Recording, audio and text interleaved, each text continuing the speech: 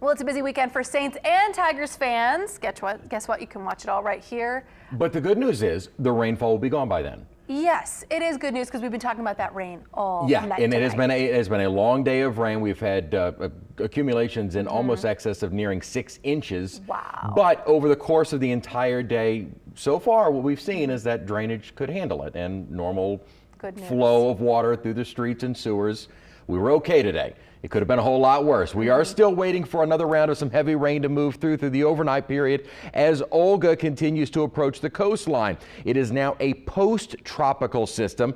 In other words, it really doesn't have any characteristics of a tropical storm as it is now merged with a cold front. Basically, it's just kind of a little circulation embedded within a lot of tropical moisture, also along a cold front.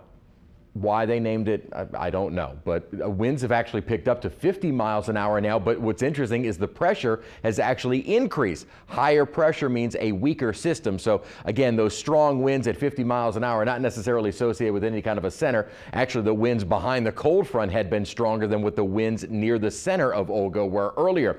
A lot of convection, meaning a lot of thunderstorms. And this heavy rainfall is all moving across south central and southeastern Louisiana. Now, the great news is it is still moving very quickly northeast at 17 miles an hour. So it is going to be on land probably not too long after midnight and then quickly moving up to the north and notice kind of approaching almost Jackson by early tomorrow morning. So it is going to quickly move northward. And I think once that circulation is north of the area, we will begin to see most of our rainfall wrapping up, which is why I said it looks like by maybe around daybreak tomorrow morning, most of the rainfall should be gone, but we still have some heavy rain to go. Again, the flash flood watch stays in effect because we could see anywhere from one to three additional inches of rainfall on top of what has already fallen. And that heavy rainfall, kind of closer to the center of Olga, is still moving inland just now. We're beginning to see some of that heavy rainfall across Houma down toward Dulac and Galliano.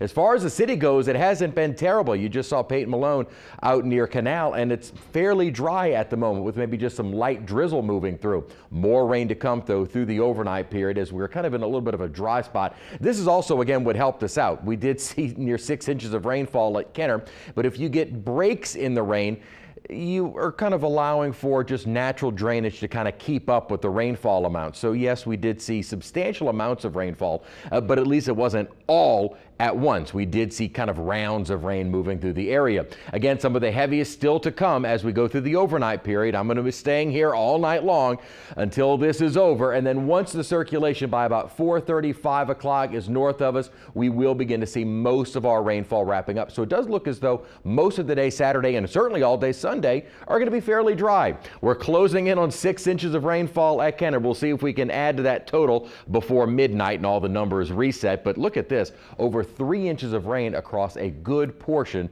of the area. Overcast skies and some light drizzle around the city right now. Big upper level low is really helping to kind of speed this system along and it is going to quickly move up to the north. And the cooler, drier air, keep in mind we also have a cold front on the way and that isn't too far away. Look at Lake Charles already at 59 degrees, 52 degrees in Lufkin, Texas. The drier air is also starting to move in with dew points in the 50s. That's the air mass that is on the way. So as this system kind of quickly gets picked up to the north, Olga, it's going to continue to merge with our frontal system, then this entire feature is going to move away from us with clearing skies as we continue through the day on Saturday. So not a bad weekend. Again, I've got that 40% chance of early morning showers, and I think most of that will probably be before sunrise. So before 7, maybe some lingering showers 8, 9 o'clock, but most of it coming to an end. Again, headed to Baton Rouge, dry. 72 degrees, very nice day on Sunday. We'll be back into the mid 70s by Monday and Tuesday. A few isolated showers possible with another cold front just in time to bring the chill back